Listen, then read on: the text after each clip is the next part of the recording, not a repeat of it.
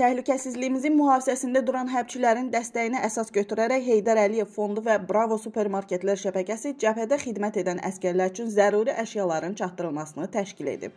Azad edilmiş ərazilərdə yerləşən əsgərlərə Azərbaycanın birinci vitse-prezidenti Mehriban Əliyevanın təşəbbüsü ilə ən zəruri əşyalar, xüsusən də təraş məhsulları, diş pastası, şirniyyat, siqaret, şəxsi gigiyena əşyaları çatdırılıb. Əskərlərin dediyinə görə ərzaq təminatında heç bir problem yoxdursa da, onlarla kilometr məsafədə bir dənə də olsun dükanın olmadığı yaşaysız kəndlərdə şəxsi gigiyena maddələri, siqaret və digər əşyaları əldə etmək çətindir. Hərbi hissələrin şəxsi heyəti hərbçilərə göstərilən daimi qayğı və diqqətə görə prezident İlham Əliyeva və birinci vitse-prezident Mehriban Əliyevaya minnətdarlığını bildiriblər.